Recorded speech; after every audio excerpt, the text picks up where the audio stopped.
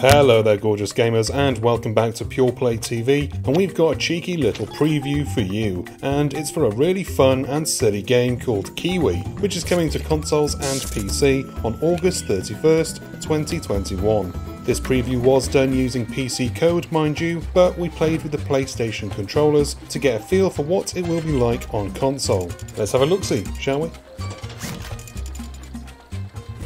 KeyWe is a ridiculous concept. Two Kiwi birds have been given charge of a post office and they are tasked with running the place, getting the mail out, getting the mail in, writing messages and deciphering incoming messages. But why Kiwi birds? I've no idea why, but it doesn't really matter. What matters is that these flightless birds are actually really fun to play as, and I gave the preview a go with my partner because I should talk to her every now and again, right?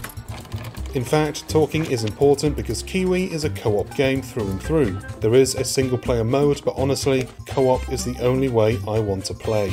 Our first task was to get through the quick tutorial, and then we were in a lovely old fashioned post office with an old rickety typewriter style keyboard that we had to send our little birds across to tap out the message displayed.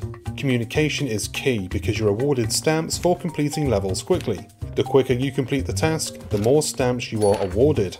Our first effort wasn't bad, but when we came back to the opening level later on, we smashed it and beat the goal time.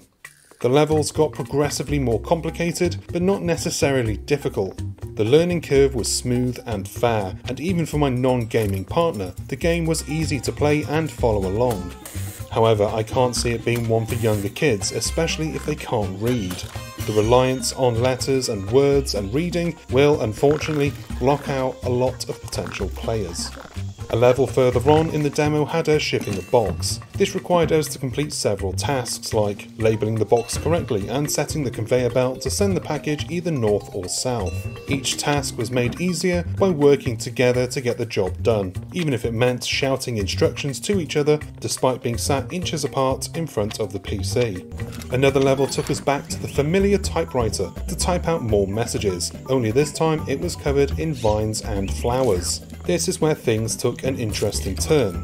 Thus far, we'd had it fairly good, and we were coasting by quite nicely. I'm talking about the game, not our stale relationship, but the game took off the training wheels and made us really work.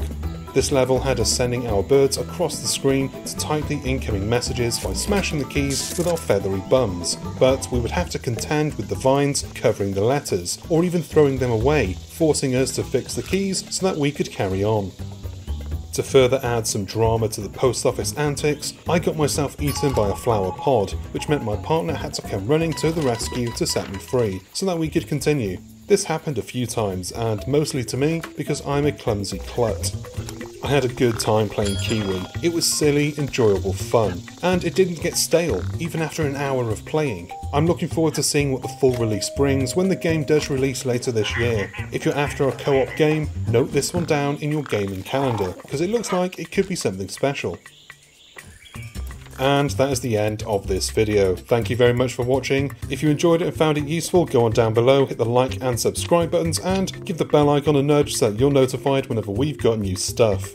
Go to the info box and you'll find our website links, social media channels, and our supporters page you can support the team, if you can. Or you can join this YouTube membership malarkey. Apparently it's good. Who knows? I've been Chris, you've been gorgeous, and I'll see you on the next one. Until then, bye bye.